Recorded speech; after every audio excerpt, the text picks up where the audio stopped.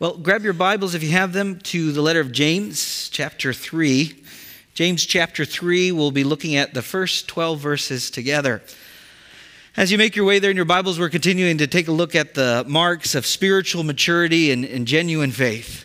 And as we consider these marks week after week, uh, our prayer is that they would be both an encouragement and a challenge to our faith that they would encourage our faith as we read these marks and consider the fact that we see them evident in our lives and say, Yeah, my faith is genuine. Yes, I, am walking in accordance with, will, with God's will and God's word, but that these marks would also challenge our faith and say, Yeah, I want to continue to grow.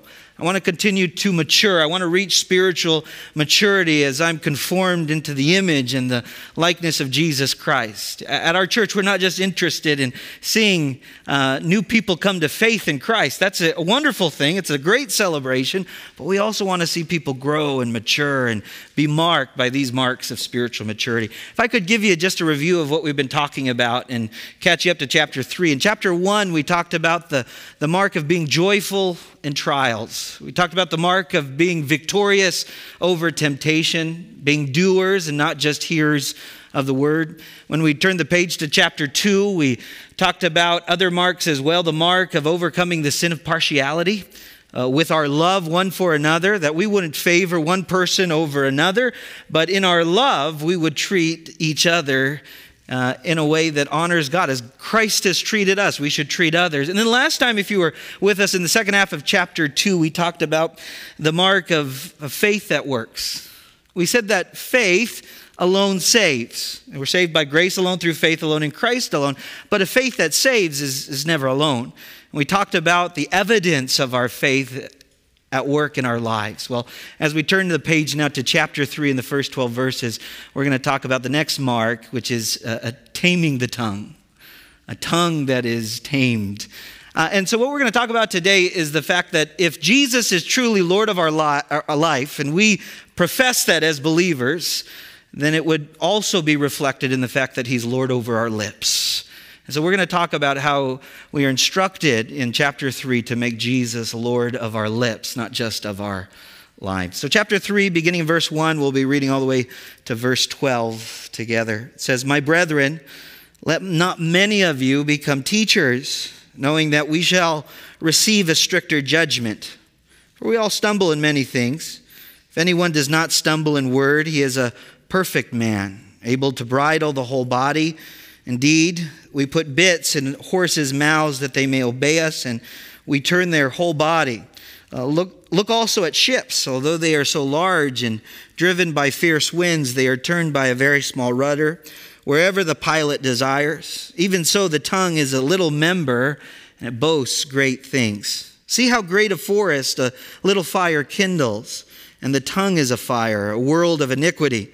The tongue is set among our members that it defiles the whole body and sets on fire the course of nature, and it is set on fire by hell. For every kind of beast and bird, of reptile and creature of the sea is tamed and has been tamed by mankind, but no man can tame the tongue. it's an unruly evil, full of deadly poison. With it we bless our God and Father, and with it we curse men who have been made in the similitude of God. Out of the same mouth proceed blessing and cursing. My brethren, these things ought not to be so. The spring, does a spring send forth fresh water and bitter from the same opening? Can a fig tree, my brethren, bear olives, or a grapevine bear figs? Thus no spring yields both salt water and fresh. The word of the Lord. If you're here and you've ever struggled to control your tongue, this is a helpful reminder for us. If you're here and you've ever said anything uh, that you've regretted after you said, or as it was coming out of your mouth, you immediately regretted, or how you said something, these are helpful reminders for us. And a reminder that if Jesus is truly Lord of our life, we would see it reflected in the fact that He is Lord of our lips. And we see the instruction and through the inspiration of the Holy Spirit that James gives and and, and the instruction that we're given is, is by means of, of exercising accountability before God for what we say and what we don't say. How do we make Jesus Lord of our lips? By exercising accountability for what we say and what we don't say. Uh, as James develops this idea in the first two verses, he begins by referring to his readers as my brethren. And there's a reason for that. He's speaking to believers. He often refers to them as my brethren. He sometimes refers to them as my beloved brethren. And it's a reminder James is talking to believers, not unbelievers, and he's encouraging them in their faith. He's challenging them in their faith. He desires to see them live a life where Christ is not just Lord of their life, but Lord over their lips. But James knows that they're struggling to control their tongue. James knows that there may be times, just like us, where they've regretted what they've said. Nevertheless, just because we struggle to control our tongue doesn't mean that we cannot overcome the temptation to lose control. If you were with us back in chapter one, we talked about one of those marks, which was uh, overcoming temptation or being victorious over temptation. And that includes when it comes to our tongue. We're often put in certain situations where we would think to ourselves, yeah, that's not really consistent with what I usually say. But there are certain circumstances, hardships, difficulties, the way we react to certain people or different things that may show what's really in our hearts by what we say. Now, James is talking to believers, right? Now, when you talk to an unbeliever, some of the things they say should surprise you, but it shouldn't surprise you when you consider what is consistent with how an unbeliever speaks. When an unbeliever slanders, when an unbeliever gossips, when, a, when an unbeliever uh, is overly critical in an ungodly way, that shouldn't be surprising, right? After all, it's consistent with an unbeliever. But when you see a believer who professes, yes, Jesus is my Savior and my Lord, Jesus is Lord of my life, and then it's not reflected in the fact that he's not Lord of their lips, you see an inconsistency, right? And it should not just surprise us, it should concern us. How much more you or I? Right? I confess Jesus is my Lord. He's Lord of my life. But there are times when I say things and I notice that what I'm saying is not consistent with my profession that Jesus is Lord of my life. So, how I say things and what I say should be reflected in the fact that I'm a slave of my Lord Jesus Christ. And I am accountable not just for how I live, but especially for what I say. James is speaking to believers. He's speaking to all of us. He knows they stumble from time to time and he knows they struggle, but he desires for them to overcome and to make Jesus Lord over their lips. So he calls them my brethren, then he gives them the warning and he says, Let not many of you become teachers. Why? Well, because all of us are accountable for what we say. But when it comes to teachers, there is a greater accountability. There's a greater influence, so there's a greater accountability. James knew that those who he was writing to in their day and age uh, saw the role of a teacher as a respected role. And there were some who desired that role or desired to be in that position, uh, f- not for the sake of service, but for the sake of status. So there were individuals who say, I want to be a teacher for the sake of, of the status it provides me, not necessarily because I'm called or because I'm qualified. And James says, not let, let not many of you become teachers. He doesn't say that because the role of teacher is something he's being critical of, but he wants to protect the role of the teacher uh, or the preacher. And James himself is a teacher, as we're going to see him identify himself here.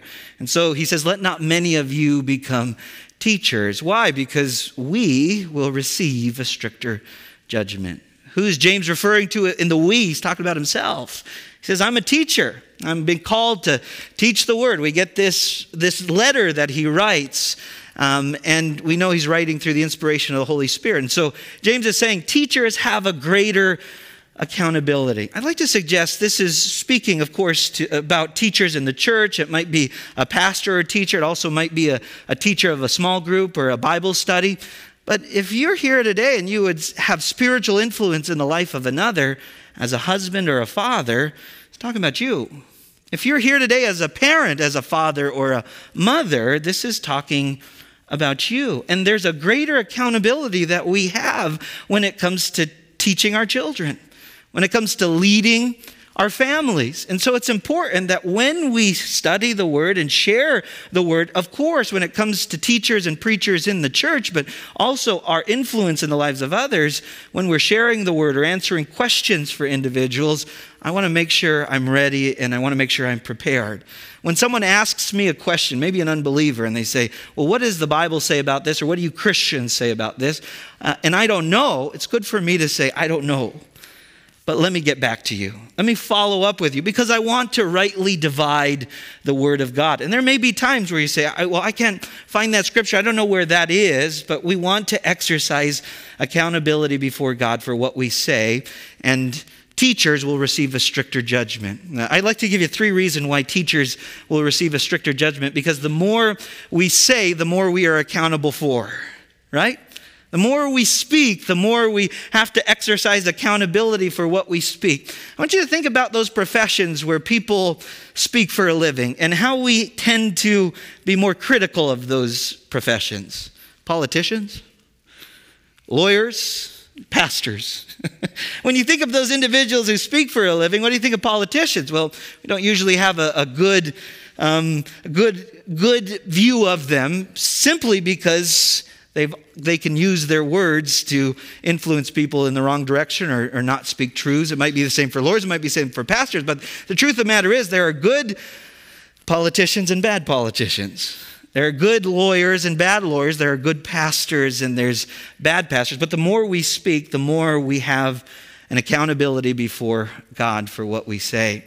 Um, the more we speak, it's also a reminder the more there's a need for consistency in our speech, that not only we would talk the talk, but that we would walk the walk. Now, for me as a teacher, as a preacher, my definition of success is not necessarily what you say in regards to how I'm living in relationship to what I teach, but my definition of success is what those closest to me say about how I'm living consistently with what I teach and what I preach. John Maxwell, he once said, um, um, when it comes to true success, for him, true success is when those who know you the best love and respect you the most. When you think of those in your life who know you the best, do they love and respect you the most? Because that's what matters in the end. And my test of true success as a preacher and as a teacher, if you're a parent in the room, as a teacher of your children, is really dependent not on what happens overnight, but what happens over the course of years and decades. As our children grow up and grow older and they know us well, do they love us, love and respect us the most? If you want to know what my level of success is, it would probably be um, checking in with my wife, who I know the best and who knows me the best. And she knows whether or not I'm not just talking the talk, but walking the walk. And I might think I preach the best sermon on Sunday, and I get home and I don't want to take out the trash. she might see an inconsistency present there. And so it's important that uh, we know that teachers have, have a greater accountability because the more they speak, the more the need to be consistent and and what they say. And then, thirdly, the more we speak, the more we're expected to teach the truth and not just our opinion. As teachers, we're not simply to say what we want you to hear or what we think is best, but what the Word of God has to say. Um, in uh, 2 Timothy 4, it says, I charge you therefore before God and the Lord Jesus Christ, who will judge the living and the dead at his appearing and his kingdom, preach the word. Be ready in season and out of season, convince, rebuke, exhort with all long suffering and teaching, for a time will come when they will not endure sound doctrine. But according to their own desires, because they have itching ears, they will heap up for themselves teachers, and they will turn their ears away from the truth and be turned aside to fables. But you be watchful in all things, endure afflictions, do the work of the evangelist, fulfill your ministry. Teachers are first and foremost accountable to God. Now, the people may say, hey, I want to hear more of this, I want to hear more of that. You know, I like a little bit of that, or I like a little bit more of this. And the teacher and preacher says, Well, I'm accountable to the Lord, and I'm going to teach the whole counsel of God in season and out of season when it's popular and when it's not, when it itches your ears and when it really challenges you. And that's the same for a parent, right? You have to tell your children some tough truths sometimes, and they don't want to hear it. We've got toddlers. You tell them, no, you're not having candy for breakfast. They throw a big fit like it's a terrible thing that they can't do. But you tell them, I know what's best for you. So much more when it comes to teachers and preachers. If you have any spiritual influence in the life of another, we don't speak what they want to hear. We don't want to just itch their ears or flatter them. We want to speak truth. We're not, our obligation as believers is not to tell people what they want to hear, tell people what they need to hear and to tell the truth of what God's word has to say. And so, uh, why are teachers more accountable? Will we get to see here? Um, the more you speak, the more accountability you have. And then he, he gives this reminder in chapter 3, verse 2. It says, For uh, we all stumble in many things. Now, pastors and teachers have more of an opportunity to stumble in terms of what they say. Um, I, I was watching a, an old message one time, and I saw when I greeted everybody at the beginning, I said, uh, Thank you for worshiping us this morning. I meant to say, thank you for worshiping with us. And didn't notice at the time, but there's a big difference there. You got someone walking in and say, Whoa, what is this church about? Thank you for coming and worshiping us. No, thank you for worshiping with us. We, we have a greater accountability. We have a more opportunity to, to stumble. The more you speak, the more accountability you have. The text goes on to say, If anyone does not stumble in word, he's a perfect man. Now, it's a reminder we all stumble, we all struggle. But when we're talking about a perfect man, we're, we're talking about pursuing spiritual maturity. Now, perfection is not something we can reach in this life, sinless perfection, but we can pursue spiritual maturity. And our desire is that it would be reflected in our life that Jesus is Lord of our life and Lord over our lips. That we would be marked by genuine faith in this regard, that our tongue would be tamed, that the more we go about our lives and we have conversations with others and we are put in difficult circumstances, the less we would regret what we would say because we're, we're quick to listen, slow to speak, and slow to wrath. And we model that in our lives, or at least we should. Um, and so it's important that we reflect that he's a perfect man, also able to bridle his whole body. And so it's a reminder uh, we are to exercise accountability before God for what we say, but also what we don't say. There are certain things that we need to say, and that might be a sin of omission on our behalf where we need to say something, but we didn't say something. And other times when uh, we say too much or say it in the wrong way. So make Jesus Lord over your lips by means of exercising accountability for what you say and don't say, and what I don't say and what I. Uh, say. If I could give just practical ways to do that, the first would be this exercise accountability before God through prayer. Through prayer. Um, uh, in the Psalms, we get to read what that looks like. Let the words of my mouth and the meditations of my heart be pleasing, be acceptable, excuse me, in your sight, O Lord, my strength and my Redeemer. I need to exercise accountability every day. When I wake up, I need to begin my day and say, Lord, let the words of my mouth and the meditations of my heart be acceptable to you because I'm prone to stumble. I'm prone to wander. Lord, I feel it, prone to leave the God I love. Have you felt that, that pull in the wrong direction? And so I need to prepare myself. I need to exercise accountability. Uh, Psalm 139, 23 to 24, the psalmist says, Search me, O God, and know my heart. Try me and know my anxieties, and see if there is any wicked way in me, and lead me in the way of everlasting. Lord, I want you to guard my tongue in terms of how I live and how I speak. I just don't want to live for you. I want my lips to reflect how I worship you and glorify you and, and honor you. You know, we may say things sometimes that may not be good or bad, but just may be a waste. And sometimes we just waste our words. Be, be, be quick to listen, slow to speak, and, and slow to wrath. And something we need to remember again and again. And sometimes we, I don't know about you, sometimes you say, you know, I know I shouldn't say this right now, but I say it anyway. That's a point where you say, I'm just going to stop myself right there. Lord, let the words of my mouth and the meditations of my heart be pleasing to you. And so exercise accountability before God through prayer. Secondly, exercise accountability before God through Christian community. Ephesians is a, a, letter that's written to the church, the church at Ephesus. Do not let any unwholesome talk come out of your mouth but only what's helpful for bringing others up according to their needs in, in Christ Jesus. I often say the, the term unwholesome talk there is the term for rotten fruit.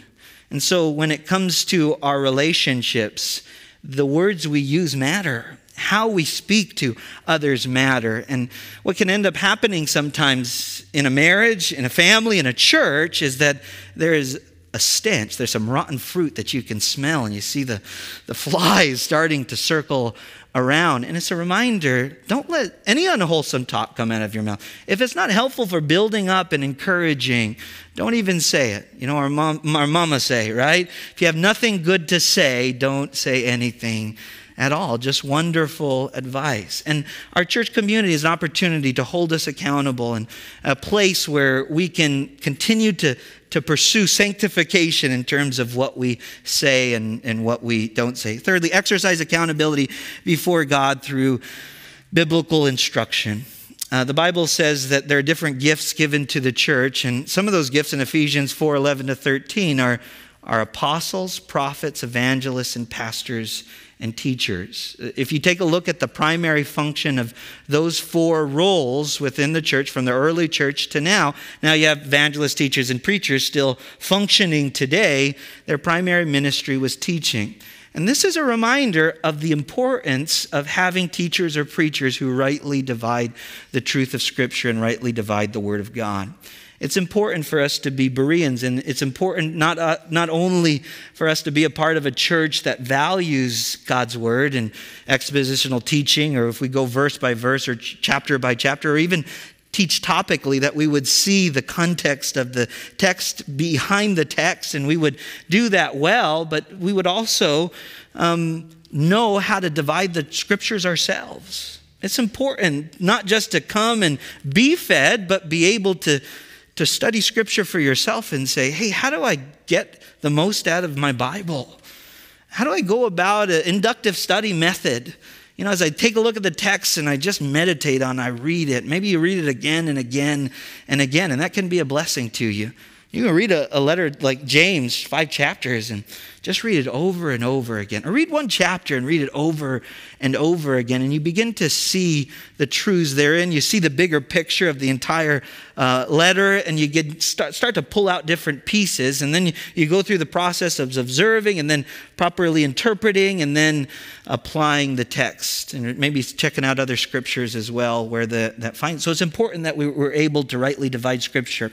Um, Ephesians 4.11 says this, He himself gave some to be apostles, prophets, evangelists, pastors and teachers for the equipping of the saints for the work of ministry. As the word is taught, as it's preached and proclaimed, the purpose is that the people of God would not just be smarter Christians, but that they would be equipped to go and serve in the work of ministry inside the church walls and outside the church walls. As you come under the instruction of Scripture, that you're better fathers and better mothers, better husbands and better wives, uh, more godly and, and more effective as disciples, going and inviting others to believe in Jesus, to belong to a church, and to become more like Christ. And that's what we should be about as believers. Edifying the body of Christ till we all come to the unity of faith and of the knowledge of the Son of God, to a perfect man, to the measure of the stature of the fullness of Christ. So the primary function of a pastor or a teacher, they can do many things.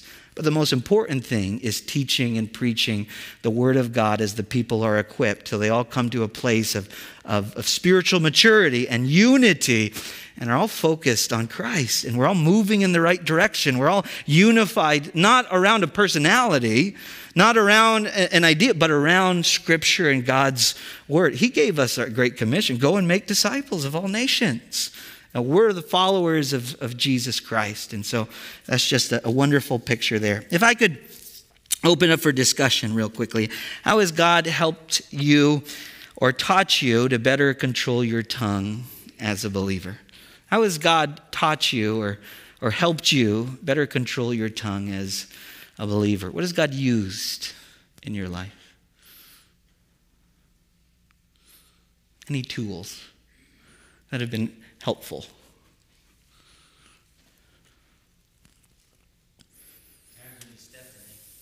Yeah. You learn from your mistakes.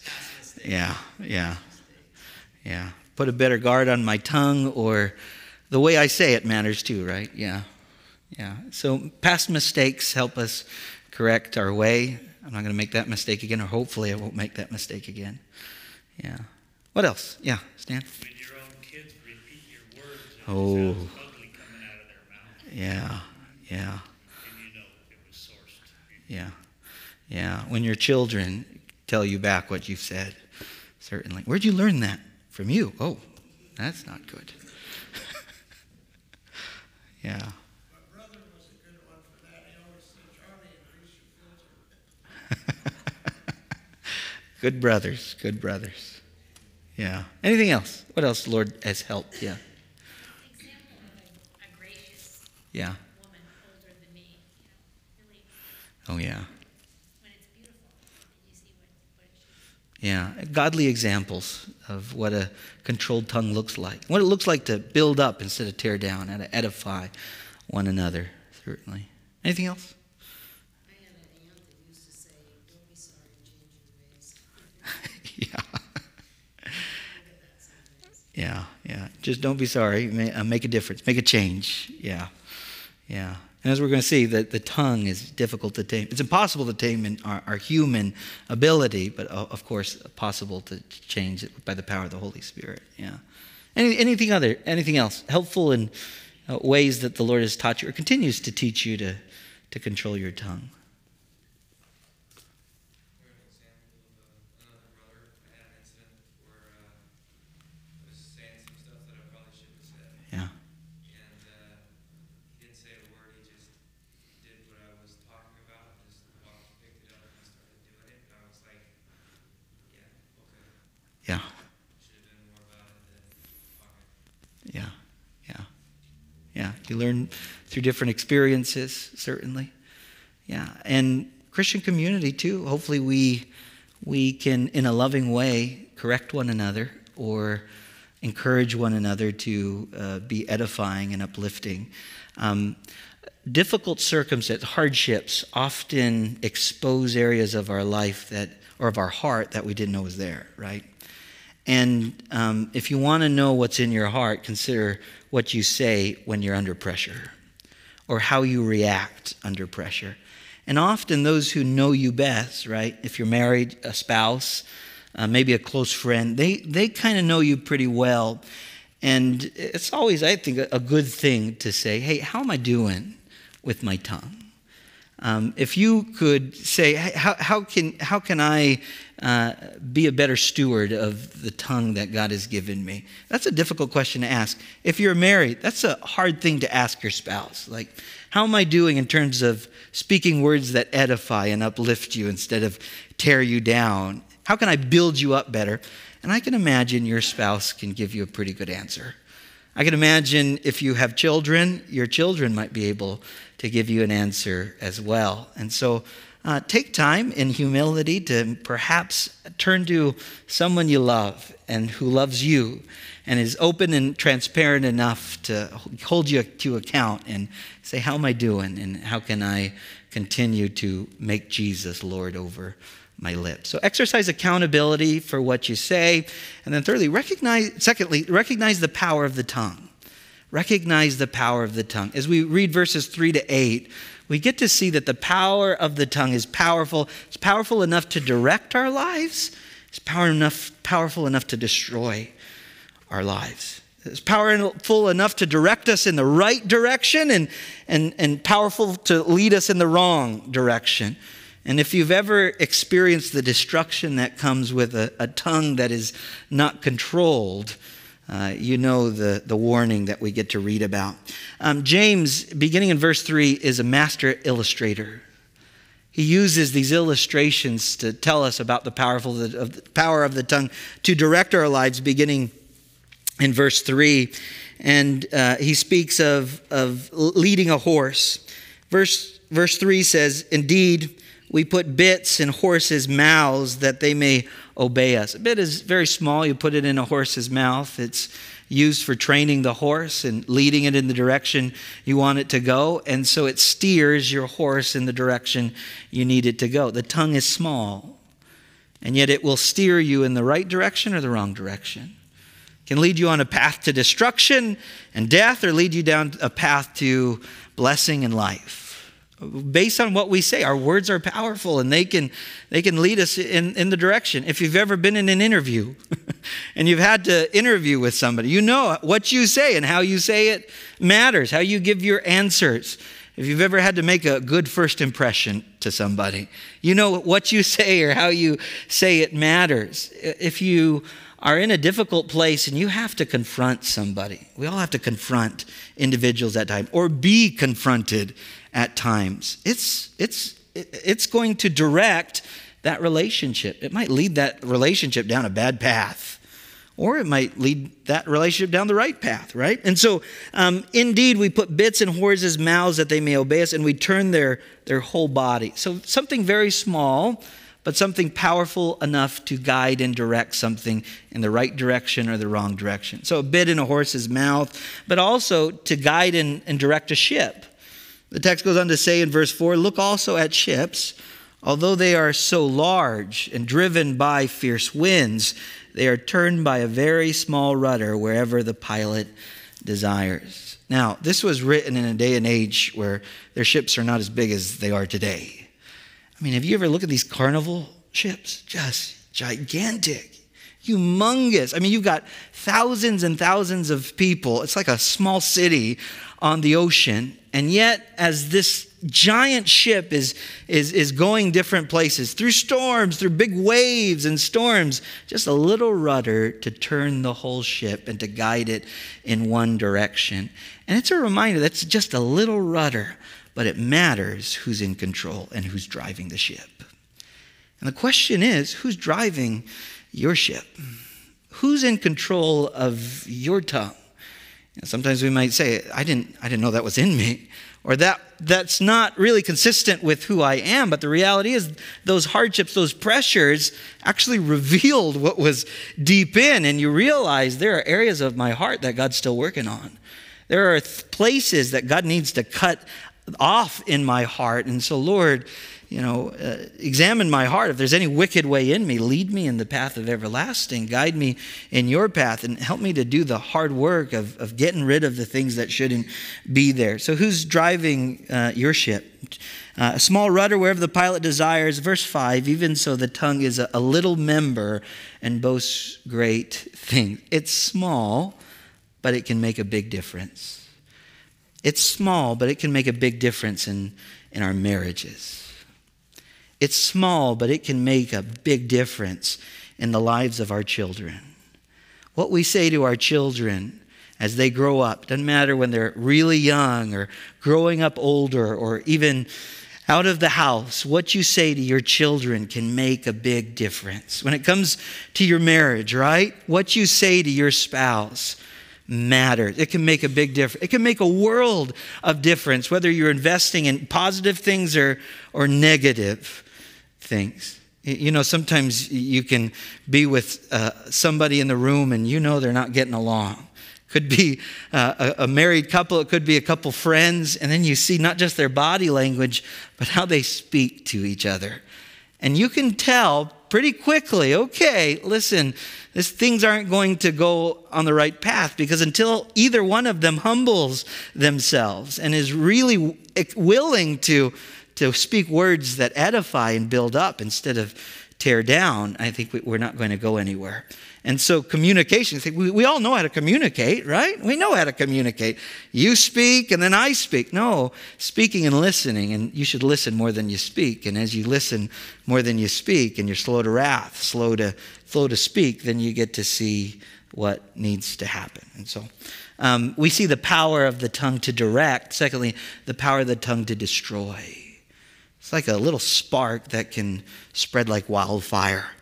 Text goes on to say in verse 6 and the tongue is a uh, or second part of verse 5 excuse me see how great a forest a little fire kindles just a little spark We're, we live in oregon so we understand this you just drive down the mckenzie highway and you can see what a, a little spark can do to destroy a, a forest and it spreads like wildfire. Just some wind that takes that little spark and it spreads very quickly. That's the tongue. It's a reminder of the power of gossip. You just say a little whisper. In the Greek, it's gaskousmas. Sounds like it sounds like gossip. Gaskousmas, gaskousmas. And you get to hear the little whispers going around. It Could be in a church, it could be in eh, the workplace, wherever it may be. And man, that gossip can spread like wildfire and destroy a reputation. A little bit of slander can destroy somebody. When it comes to the words you, you, might speak to your children, instead of building up and tearing them down, man, it can destroy their lives. You never tell your child, hey, I'm proud of you or I love you, and they grow up their entire lives thinking or trying to please their father, even if they're still not there. I remember talking to a gal at my last church in her 80s and still feeling the pain of her father never telling her he was proud of her, never telling her he loved her, and it still affected her to the day that I was talking to her. Words are powerful, and they're powerful to destroy like a spark, it can spread like wildfire. Verse 6 says, And the tongue is a fire, a world of iniquity that defiles the whole body and sets on fire the course of nature, and it is set on fire by hell. I love what Chuck Swindoll says about this in terms of a world of iniquity. James is saying that the full range of iniquity finds an outlet through the tongue. It's virtually impossible to seethe with anger without expressing our rage in words. Bitterness sours our speech. Pride prattles on and on. Hate explodes from the lips. The tongue can suddenly turn an otherwise gentle person into a monster. It's a world of iniquity. Have you ever seen somebody who's just very calm? Then you say something and it triggers something in them and they explode on you. Sometimes it's transference, like somebody had a bad day at work. you come home and you say something or do something, they just explode on you. Like, where did that come from? World of iniquity, right? And the tongue just goes off on the wrong person because it should have been that person or this situation, but you pour it out on the wrong person and you just explode. Or, or you, you never communicate about something, you just bottle it in, bottle it in, bottle it in, and all of a sudden you lose control. You don't have any control over your emotions, you don't have any control over your anger, and uh, you have unresolved conflict. And, and it expresses itself in a world of iniquity, not just how we act towards one another, but what we say to one another. Not just what we say to one another, what we don't say. It's a world of iniquity. Um, text goes on to say, um, For every kind of beast and bird, reptile and creature of the sea is tamed and has been tamed by mankind. And so, what we're told is it has the power to destroy like a little spark that spreads like wildfire, but is also something that can't be tamed by human means. This is important for us to understand because when it comes to your tongue, you can't try to do better next time without the power of the Spirit. This is a reminder as Christians, we should look different than the world in terms of how we speak or what we say or what we don't say. We can come up with excuses, right? You know, you made me say that. I wouldn't have said that if you didn't make me say it. Or we make excuses like, you know, my father spoke that way, my grandfather spoke that way, and so I just speak that way. It's just in my genes, it's just who I am. No, if you're in Christ, you're a new creation. The old has passed away, all things, behold, have become new. We're new in Christ. And so we should see the fruit of that on our lips and how we speak. And so it's, it's important that we don't continue to make excuses. Listen, take a look at animals. You can tame them your pet dog, you know, you can teach it and you can train it. But when it comes to the tongue, it cannot be tamed. It's a world of iniquity. It's set on fire by hell. And so when it, you think about the destruction that the tongue brings, uh, the, the process in which it, it, it destroys is from hell. It's from Satan. It's the purposes of, not of God, but of Satan, and it's, it's set on fire by hell. And the word for hell there is the word Gehenna, and it was an actual location in Jerusalem. In the, the, the southern part of Jerusalem, you had the garbage dump in the Hinnom Valley. and they just burned the trash there. And so the picture here is, is what the tongue does. I mean, it destroys. You think about the Hinnom Valley, if you go to the dump, the, the trash dump, and you can smell the, the nasty trash burning, that's the stench that it brings. I don't want that in my marriage. I don't want that in my family. I don't want that in my church. I don't want gossip and slander and, and, and ungodly talk or, or uncontrolled speech or, or reacting like I shouldn't. Saying something and I know I shouldn't say it or, or I know I should say it in love and, and grace or, you know, before I go into the conversation, Lord, help me. You ever been there, right? Like you might have a conversation with your spouse and say, Oh, Lord, you're going to have to help me say this the right way. I'm going to have to have a, a, difficult conversation with a child.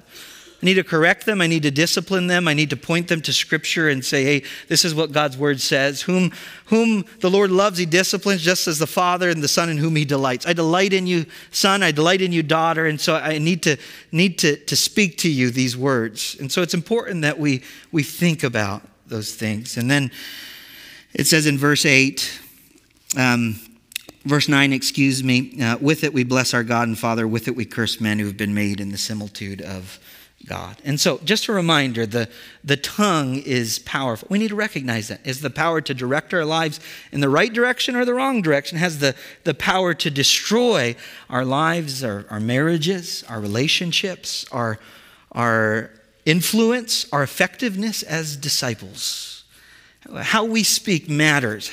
What we say matters, and also what we don't say matters as well. If I could give us just ways to recognize the power of the tongue, the, the first would be this guard against the destructive nature of the tongue. Proverbs 12 18 says this There is one who speaks like the piercings of a sword. Words can pierce like a sword. Ever been pierced by a sword? I haven't. Might have been cut one time by a knife. You accidentally cut yourself. Man, that's how words can cut. They can pierce, they hurt. But the tongue of the wise promotes health. Guard against the destructive nature of the tongue, knowing words hurt and words are powerful. You know the common phrase that children say bricks and stones may break my bones, but words will never hurt me. That's a lie, isn't it? Words will hurt you in places bricks can't reach. And although bricks will hurt you and then you might be able to recover and might be able to heal from it, there are certain, certain words that can wound a heart, can wound a person from a child as they continue to grow up for the rest of their lives. And it's a, a wound that just doesn't heal. You ever had a wound that, that just didn't have a scar over and didn't heal? You might have needed some extra help with it. I mean, that's how some walk around wounded by the words of others. Guard your tongue, knowing how destructive your tongue and my tongue can be. Bricks and stones do break bones, and so do words. Uh, secondly, admit your need for God's help. We need God's help. We can't do it on our own. Um, the power of the tongue is great, but the power of God is greater still. No matter how powerful your tongue may feel as if it's controlling you and controlling what you say, God's power is, is greater. He's almighty. Admit your need for God's help. Ask for wisdom when to speak up and when to remain silent. I love this quote by Abraham Lincoln. He once said, Better to remain silent and be thought a fool than to speak and to remove all doubt. Someone once said, Even a fish would not get in trouble if he kept his mouth shut. Any fishermen in the room, you understand that. Sometimes it's just good to be slow to speak, slow to wrath, quick to listen. How many arguments would that save us if we were just quick to listen, slow to speak, and slow to wrath? And what a blessing that would be if we applied these principles to our lives. And then, fourthly, rely on the power of the Holy Spirit to, to build up and, and not tear down with the tongue. God is the solution. The Spirit of God who, who dwells in us is the solution.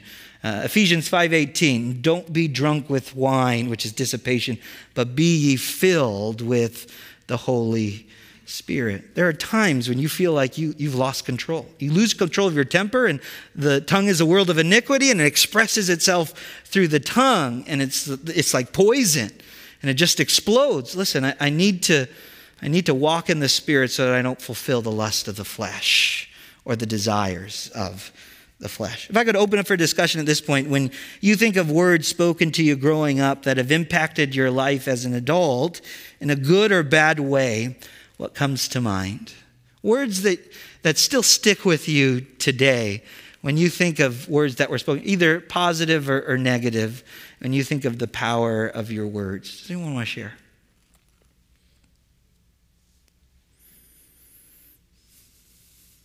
Yeah, Harold. Yeah. yes, words can change your life. I do. I do. Yeah. Yeah. Anyone else? Yeah. As a child of four, I accepted Christ. Yeah. At that moment, mom said, God's going else? use you. Yeah. Yeah. How old were you? Four years old. Mom says God's going to use you. What encouragement to your faith. Yeah. Yeah. Anything else?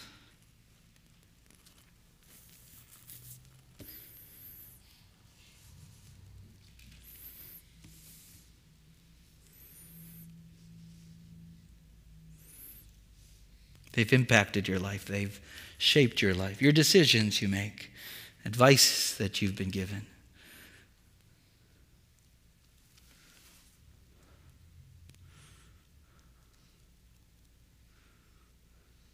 Yeah. Yeah, Steve. Uh, just a, a brother in the Lord years ago, um, every time he'd come by your house to check on you, Yeah. um, his words would be, hey, brother, what's the Lord been teaching you? Yeah.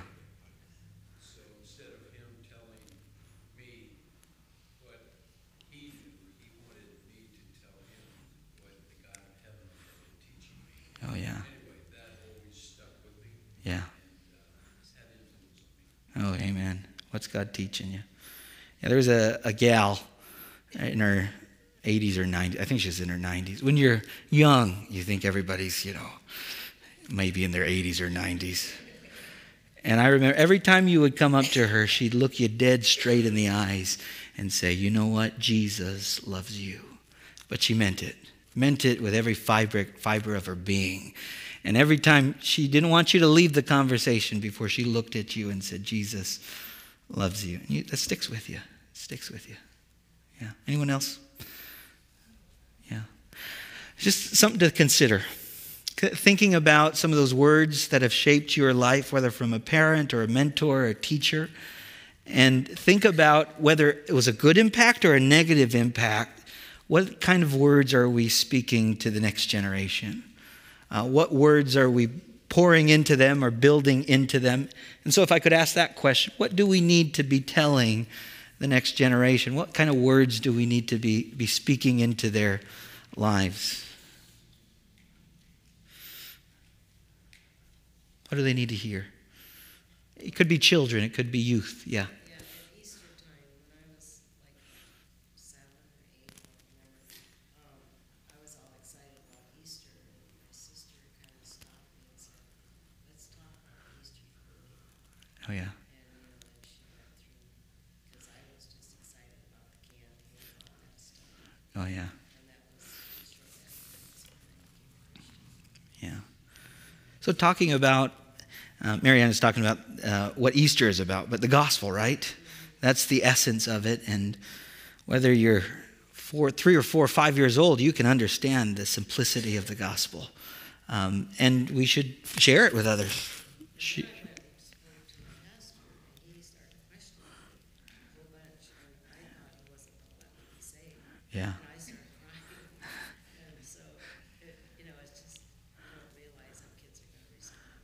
Oh, yeah. Yeah. Yeah. Anything else you'd say? We need to be speaking this into the, the lives of our kids or the youth, the next generation. Yeah. So this is something in my 25 years in Marine Corps leadership. Oh, yeah. I used to really report to guys, and I was really, really good at it professionally, horrible at it personally and privately.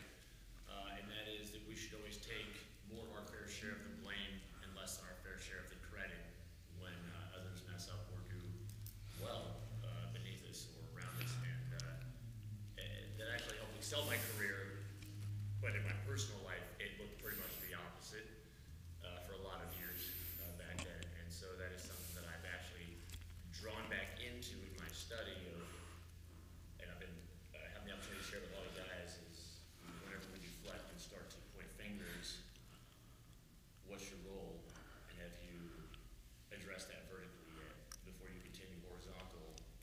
seems obvious, the person is also at fault. So it's really been actually a powerful leadership lesson. Yeah. Is, came full circle spiritually. Yeah. So that group mentality, and um, you're saying when it comes to failures, you, you take that on. And when it comes to successes, you don't hold on so tightly. You share that. Yeah. the younger generation taking ownership, Yeah. even when there's blame to be shared, taking, taking ownership of your role. Oh. Yeah. Yeah. Taking ownership, responsibility, accountability. Yeah. Anything else? Yeah. Stephanie. Uh, maybe just reaffirming, reaffirming with your kids who they are in Christ Uh huh. and how God created them to be kind of counterculture for what's been thrown at them now or what they will walk into later as they get older. Yeah. Uh, but speaking those truths into them softly here and there, just so it's repeating in their own mind, um, I think would give them um, strength to stand against something that might come later. Yeah. Yeah. Yeah. Sure. I, I think the younger generation is just thirsty for truth. Yeah. And they don't know what they know is, they know it's not true. They just don't know what, what is true. And it's just being available to share with the younger generation what is true. Yeah.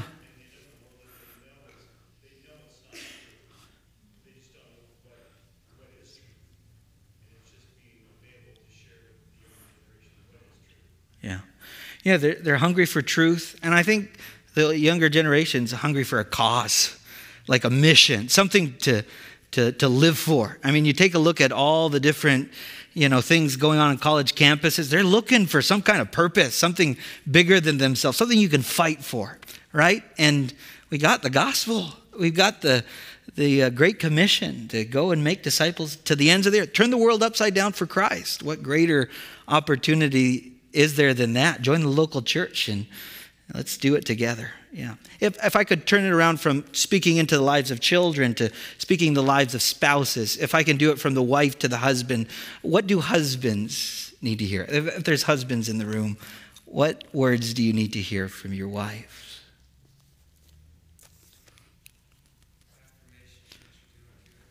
Yeah, encouragement. Yeah. Affirmation, sir. Anything else?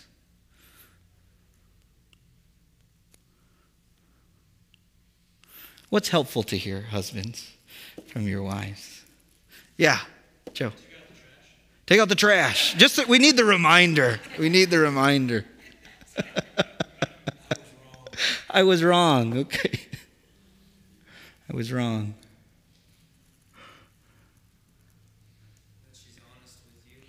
Honesty. Yeah.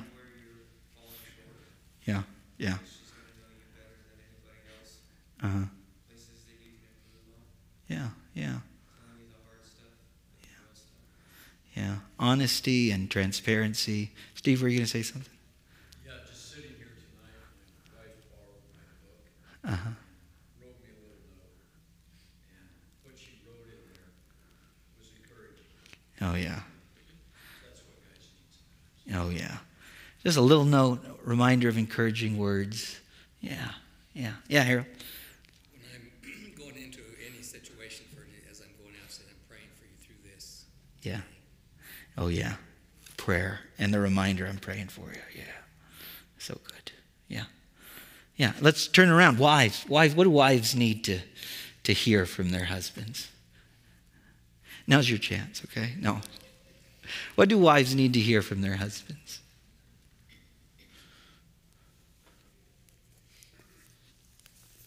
Maybe please forgive me. I mean, seriously, Yeah. Yeah. that's for forgiveness. Yeah. Forgiveness and humility to do that. Yeah. Yeah. Anything else? Yes, Nora.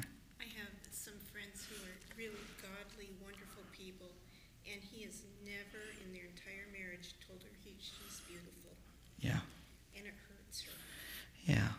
So being told you're beautiful and I love you. Yeah. Sure. Yeah, Juliana.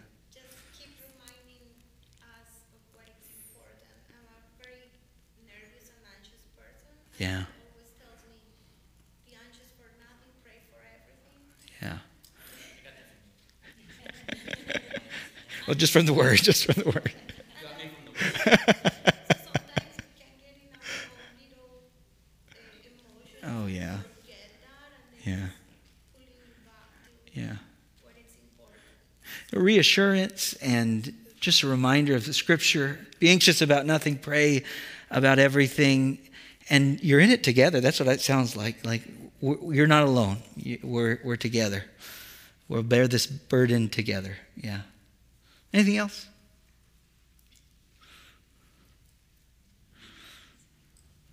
We, we have some folks, you know, who might be getting married soon, so that we need some advice here, all right? yes, Dan. Nothing calms my wife's spirit like me asking her to pray with me about Yeah, the thing that is bothering us or her. yeah, yeah, It bring, it reminds her very, very clearly that God and her husband yeah, are in this thing, and not until then is she able to release. yeah, yeah. Amen. Yeah, let's pray together about this. Yeah.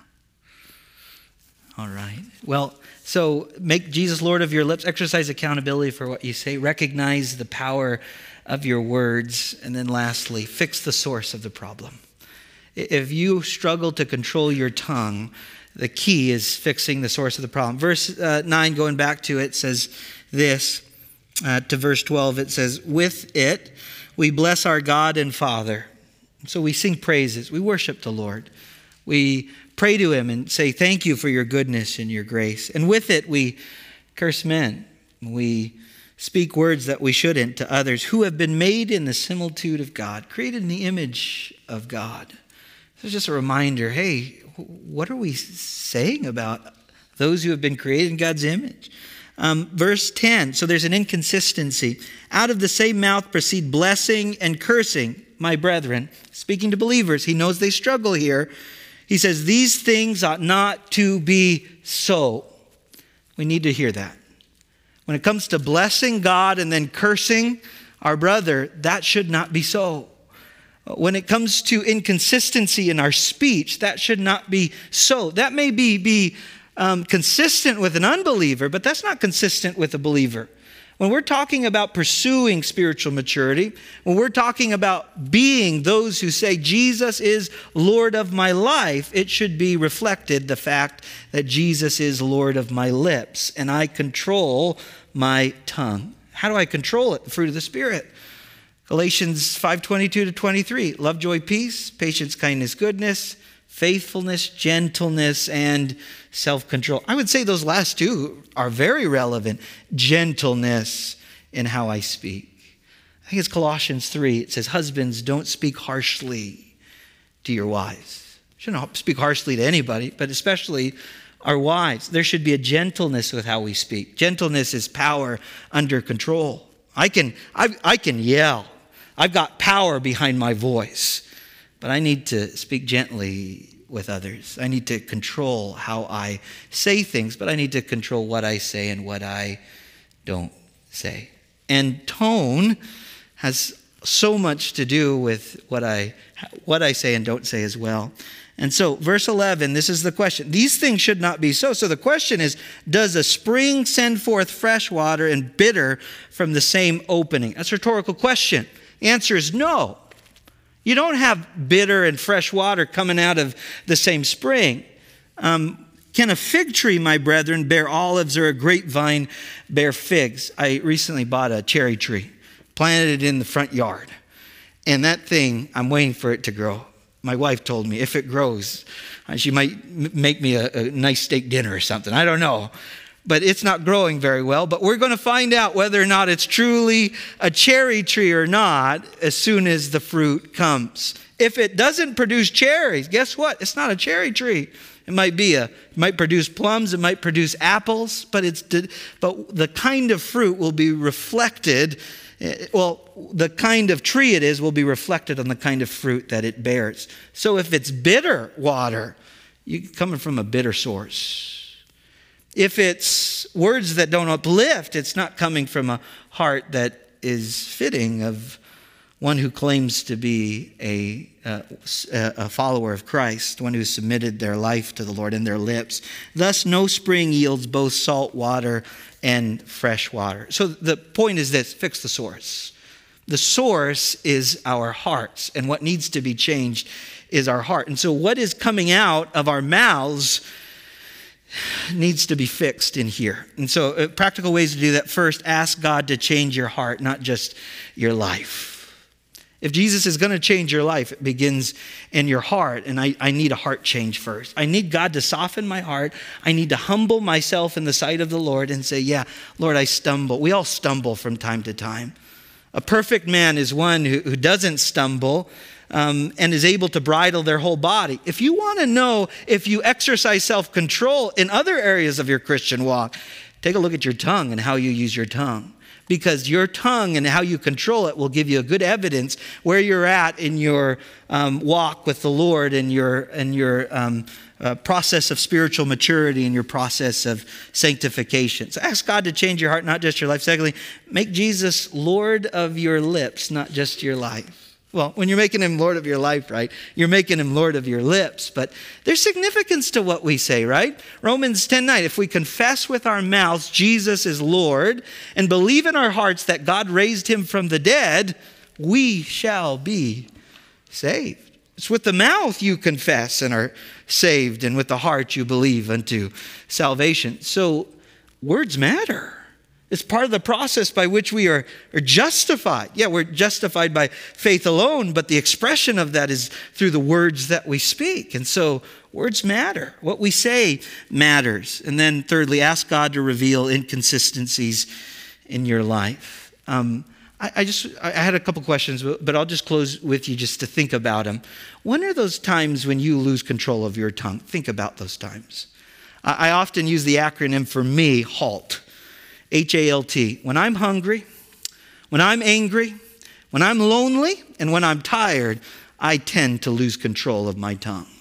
What are those times for you? For you, it might be on your way home from work. It might be on your way home from a, a doctor's appointment. It might be home, home or from a long day or a, a hard time. And you need to know when are those times when you might lose control of your tongue and ask the Lord to change your heart from the inside out and challenge you to change you. Don't just make Jesus Lord of your life, make him Lord of your lips. Can we pray?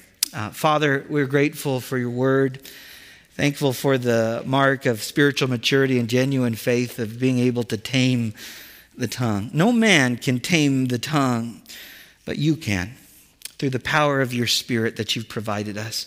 I pray, Lord, that you, we would use our words to build up and not tear down. I pray, Lord, right now that we can confess any sin in, in the ways that we have spoken to others in regards to speaking unwholesome talk that has come out of our mouths that has poisoned our relationships or poisoned the people that we talk with, Lord. And I pray that we wouldn't poison others with the words that we would speak, but we would build them up, that we would point them to Christ and that we would speak words of life and not death. And I pray that that would uh, be a blessing in the marriages represented in the room and the families. I pray that that would be represented in the workplace and in the different conversations we have. I pray, Lord, that that would be evident by how we declare the good news of the gospel of Christ to the lost around us, and we would be faithful to do just that. Lord, change our hearts in ways that we need it.